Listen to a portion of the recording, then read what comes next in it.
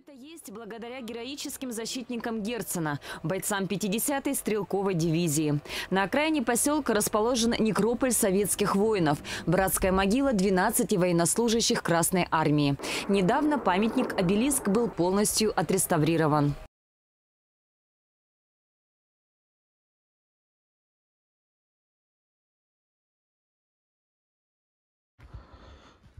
И, в общем-то, а, главврач при управлении делами президента санатория имени Герцена решил вот снести этот святой памятник погибших защитников советских, демонтировать. Вот сложно ли в это поверить? Мне было сложно в это поверить. И чтобы не быть голословным, я покажу вам этот документ.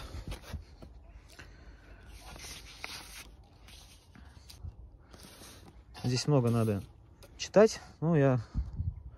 Самое главное, да, строки. Произвести демонтаж памятников, надгробий, металлического ограждения, ступени выпуска, площадку захоронения с последующим вывозом строительного. То есть полностью дем демонтаж. Подписи Полюшкин. Главврач. Так? Так. Ага. Чтобы было понятно, да, чтобы я не сочинял, потому что я на самом деле не хотел об этом снимать, но, но происходит беспредел. Вот этот Полишкин, главврач, он, ну, мне кажется, если сейчас выявится то, что он здесь деньги э, ворует на гос вот этих закупках, то, что он забор поставил, его вряд ли посадят, потому что, судя по вот этим бумагам, ну, он вот эти бумаги может прям предоставить в суд, и его положат э, в больницу. Его не посадят, его будут лечить. Он может прямо реально вот э, говорить, что я больной. Это так, вам лайфхак, гражданин СВ Полюшкин. Я вас не знаю, конечно, не видел. Дальше, что хочу сказать. Вот этот главврач Полюшкин, чел приехал, как я понял, он приехал с Питера откуда-то. Приехал с Петербурга. Э, здесь ему дали должность.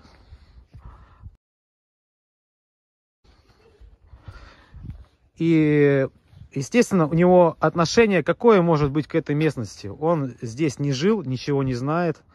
Он поставил здесь заборы, он изуродовал здесь природу. И до того дошло его безумие, что он решил снести то, то что сейчас страна чем дорожит, на чем основывается патриотизм. Вот, э, хочу вот обратиться я, может быть, через это видео, к людям, которые могут разобраться в этой ситуации строжайшим образом. Я бы, конечно, губернатору э, мог бы обратиться, к Воробьеву, э, к его окружению, может быть. Но вы поймите, что сидят люди неадекватные. Я просто хочу, чтобы, чтобы люди увидели. Разберитесь, пожалуйста, с этим человеком и со, всеми, со всем его окружением. Я не думаю, что президент России, раз это уж управление делами президента, он это все одобряет. И думаю, что э, сам президент Владимир Владимирович, наверное, до него это видео не дойдет. Но вот такое происходит. Происходит в санатории имени Герцена. А, вопрос. А зачем главврач поувольнял всех опытных специалистов? С 30-летним стажем. Я их лично знаю. Это уважаемые люди, врачи, которые вынуждены были искать себе рабочие места в других учреждениях. Для чего этот человек их поувольнял? Чтобы позвать сюда молодых специалистов за более дешевую зарплату. Но эти специалисты сюда ехать не хотят, потому что жить им здесь негде. Человек пришел сюда просто развалить, уничтожить обезобразить. До того дошло, что бойцов, бойцов Красной Армии хотят просто демонтировать и куда-то вывести, непонятно куда. Это же просто беспредел какой-то. Кому власть, кому власть дана здесь? Это управление, представители. Я-то знаю, что говорят там, вот Путин. Вы думаете, Путин знает об этом, что происходит здесь? Вот я беру риск на себя. Мне не страшно. Мне не страшно рассказывать об этом. Я считаю, что это моя страна. Я хочу, чтобы она развивалась нормально, чтобы здесь были люди. Э, сидели на нормальные люди на должностях.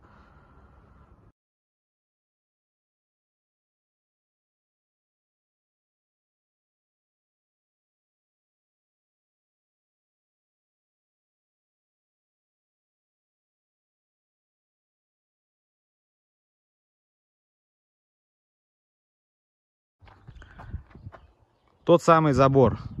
Два года назад был забор поставлен там сетчатый, маленький, небольшой. Но этого оказалось мало. То есть мало денег своровали. Надо еще своровать, еще своровали денег. Молодцы, ребята. Высота, расстояние и место, оно вообще э, ну, по закону здесь не проходит.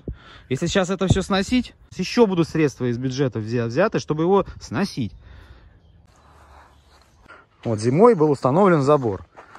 Я не знаю, сколько, сколько длина, но я думаю, что более двух километров э, длина этого забора. Эта территория была общедоступной. Сейчас ее огородили. То есть я, человек, живущий здесь, всегда мог пройти туда и наслаждаться природой. Сейчас здесь все закрыто. Да? То есть войти я не могу. Работает, кстати. Что будут мне говорить?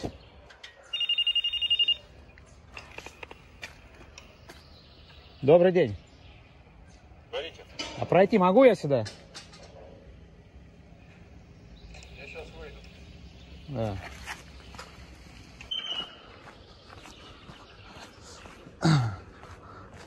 Ну, вы охранник, да, я так полагаю?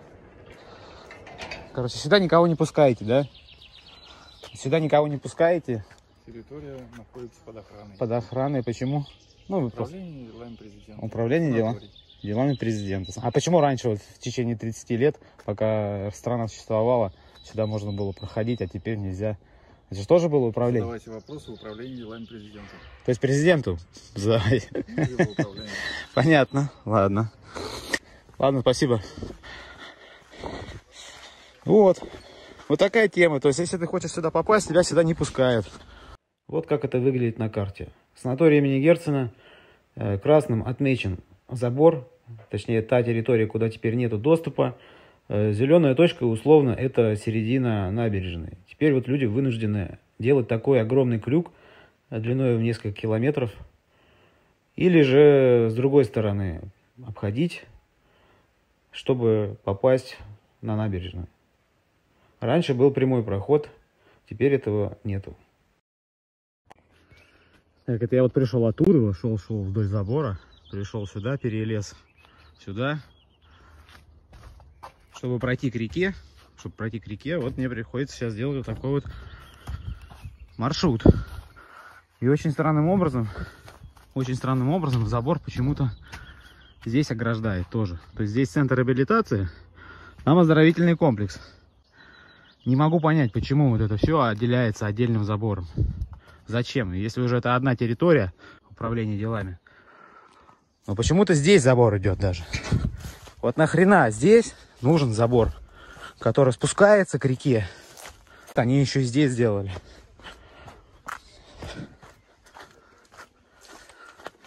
Ну, здесь уже кто-то протоптал -то тропинку, я так понял. Люди. Вдоль забора вот этого. Вы посмотрите, какие деньги отмыли. Сколько этот забор может стоить? Как вы думаете, да?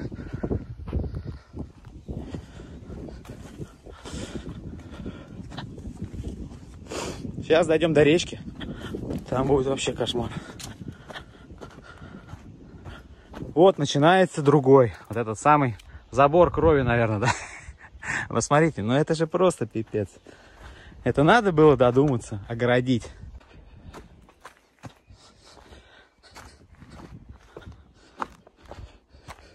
То есть раньше была природа, а теперь заборы. Вот такое время мы живем. Искусство, как говорится, принадлежит народу, да? И до каких пор вот будут вот эти вот гайки народу закручивать. До каких пор это все будет? Вот уро- уродоваться, вот это все делаться. Ну для чего сделали? Для чего вот этот забор сделали? Ну, госзакупки. Это золотая жила воровства Российской Федерации. Вот вам еще один, пожалуйста, пример. Сколько тут высота, я не знаю. Тут, наверное, 4 метра. Вот по закону могут ли строиться заборы такой высотой, это во-первых. Во-вторых, уродующие природную зону, да, так сказать. Здесь действительно красивые места. И получается, вот этот сосновый лес, который здесь был, теперь просто это загородили. Стоит вот это уродство.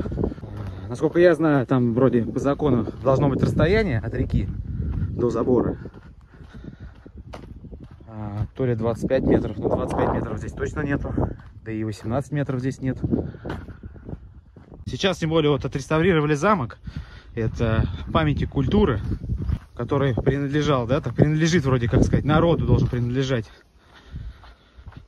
А теперь он огорожен. Люди теперь это не могут видеть. Это э, усадьба Щербатовых 19 века, которая там расположена. Она теперь э, находится за высоким забором. То есть э, люди обычные, они не могут теперь просто ходить и наслаждаться. Никогда там много народу не было, никто там не ходил так прям толпами. Раньше стояли лавочки, да, там молодежь сидела. Три года назад их убрали, эти лавочки. То есть там вообще никаких ни посиделок не было, ничего. Но оказалось этого мало.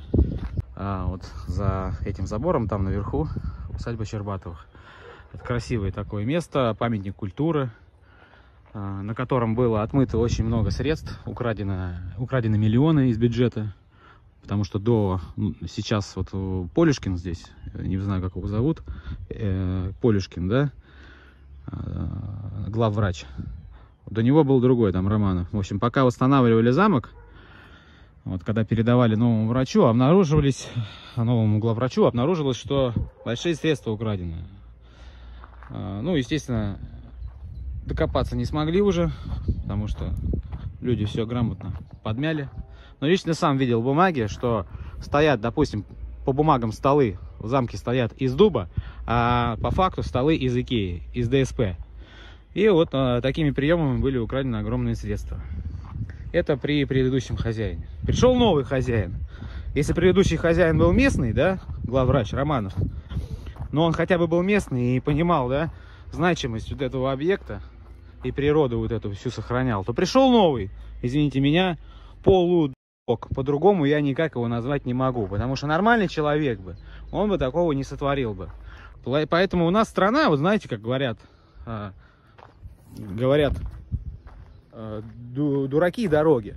Сейчас у нас э, новая уже поговорка идет дураки и заборы. Вот, я думаю, что так, потому что стало модно, видно, делать заборы. Врать не буду, какова его стоимость, но я думаю, что это не дешево, учитывая, что госзакупки это золотая жила, и там в три дорого всегда ценник установлен, да, что если лист на рынке этот стоит там 2000 рублей, то там он будет стоить 1008 все может стоить по бумагам. И если захочет кто подняться туда, он и сейчас подымется. Вот если мне надо туда проникнуть, я сейчас вон там вот под подкоп сделаю и туда проползу. И таких вот дырок здесь полно. Поэтому очевидно, что цель установки этого забора это просто крадение средств из государственного бюджета. Сейчас, допустим, если этот забор сносить, если сейчас вот писать какие-то там, собирать бумаги, если сейчас это все сносить, то это еще будет еще будут средства из бюджета взяты, чтобы его сносить. Вы представляете, насколько вот, а, насколько дебилизм в нашей стране, он процветает. Что, вот больше некуда было потратить средства, да? Ведь много есть вот нужных каких-то, ну, где требуются средства в, в этом поселке, да, куда можно было потратить эти средства. Я звонил э, местной тут активистке и депутату местному Кононовой и она вот сказала, что вроде там написали они куда-то заявление, но дело так и не сдвинулось, потому что она одна, она э, ну, работает, как говорится, там сама на себя, ничего, никаких э, средств я не получаю, и одна вытянуть она не может все это. Она вроде пытается, но нужны все равно люди, которые могут помочь юридически как-то все это вот с этим бороться. А, поэтому Если вам не безразлично, то давайте как-то объединяться. Ну что, если мы сейчас свесим руки, ну сейчас они там и дальше забор где-нибудь еще поставят. Вы понимаете, что если... Ну, если мы холопы, да, холоп. Холоп, он так и будет ходить. Но мы живем вроде в стране, где есть законы, и законы, они все-таки для всех одинаковые. Если здесь закон нарушен, а он нарушен, закон, то почему мы должны сидеть и молчать? Почему мы должны, не должны что-то предпринимать? Два года назад был забор поставлен там, сетчатый, маленький, небольшой. Но этого оказалось мало. То есть мало денег своровали. Надо еще своровать, еще своровали денег. Молодцы, ребята.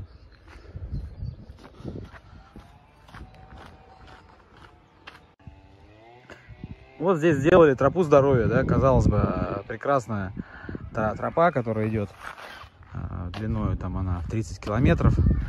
И вот здесь вот забор этот рядышком установили.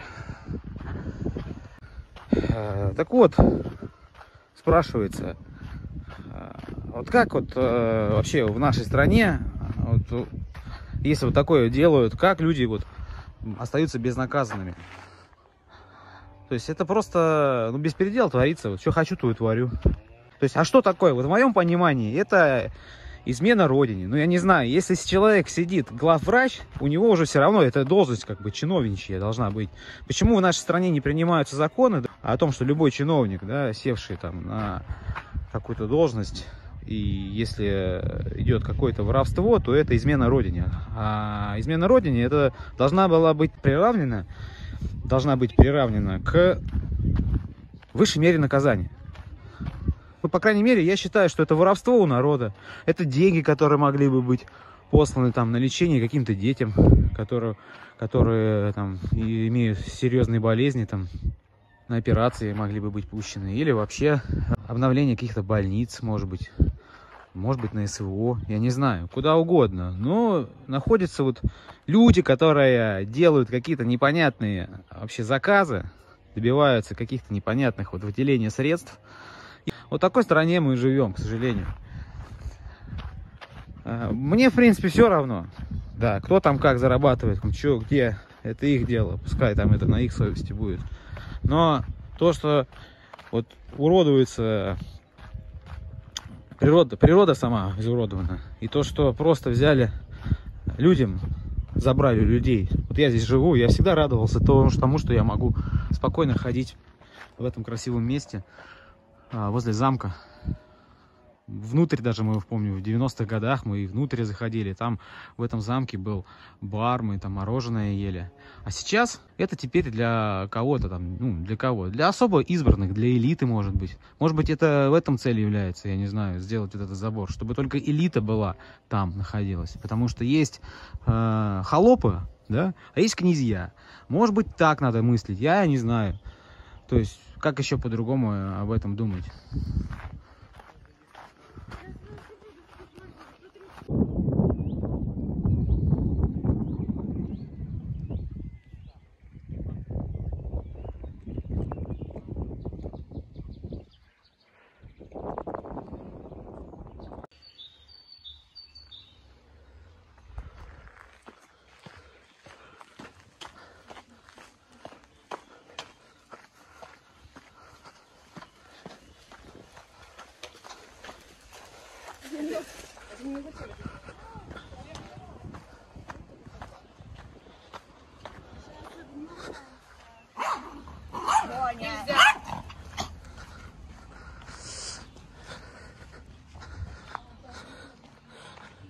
Вот, вот тут уже пошел новый, другой забор. Ну ладно этот, еще могу согласиться. Сделали вот новый. Хотя до этого стоял вполне нормальный забор, который еще мог бы простоять еще 30 лет, наверное. Э, здесь был нормальный забор, но почему-то вот не понравилось. Надо другой поставить. То есть, ну, мало денег надо, надо побольше отмыть. Давайте здесь поменяем. Деньги девать некуда. Давайте здесь поменяем забор еще.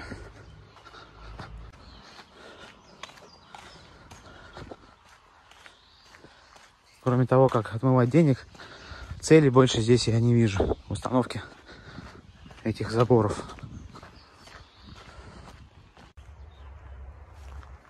Вот так и получается, что мы живем, но нам диктует кто-то правила, да? И ведь это даже диктует-то не сама власть. А законы есть, они для всех одинаковые.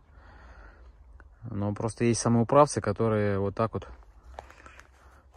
берут на себя какие-то действия, а народ считает, что это все законно, и что бороться с этим, вот как мне сейчас бывший следователь или действующий, не знаю, он сказал, что не с теми ты борешься. Имея в виду, как будто я хочу против президента, да, идти там или еще что-то. Но есть, понимаете, де, управление делами президента, а есть люди, которые в нем работают. Да? И эти же люди крадут из средств средства без этого управления делами президента. Я не думаю, что сам тот же президент против того, чтобы народ брал какую-то власть в свои руки там и контролировал, да. Для этого и созданы, созданы всякие доброделы, органы всякие, да, управления, в которые можно обращаться, так сказать, писать жалобы, требовать. А если мы вот так вот сидим, ну, дорога раздолбана, естественно, ее никто не будет делать. Поэтому и создан добродел какой-то, да, куда пишутся заявления. Ну, вот по поводу этого забора, я думаю, тут одним доброделом не отделаешься. Тут надо э, писать и собирать подписи э, с людей, собрать подписи, обратиться в одну, во вторую и в третью инстанцию одновременно, чтобы со всех сторон сразу их начали щучить. И, не, естественно, не на управление делами президента писать, да, и не самого президента, и не самому президенту, а на людей, которые работают там вот, на глав врача, да, и так далее, и так далее. То есть так, чтобы хоть как-то повлиять на эту ситуацию. Нам всем как бы стараются рот затыкать, чтобы мы там никуда не писали, не жаловались. Но если вам на работе не, да, не выдают форму, которая положена, нормальную, да, или дают какую-то дешевую форму, а по бумагам там дорогая идет, то почему ты не имеешь права? Ты боишься, что тебя уволят, да? Вот так ты ходишь, вот так-то мы и будем ходить тогда. Холопы, да, и князья будут. А царь, царь, вот этих князей, может на кол посадить, если надо, по факту. Но мы-то считаем, что мы боимся, что князь нам полбу даст и уволит. А этот князь точно так же работает, точно так же работает у президента, да, у, у царя имеется в виду, что у него такие же права и обязанности, как и у нас. Мы все винтики в одной системе. Поэтому если мы будем так вот сидеть, то ничего и меняться не будет. Так и будем ходить. И будут дураки и забора.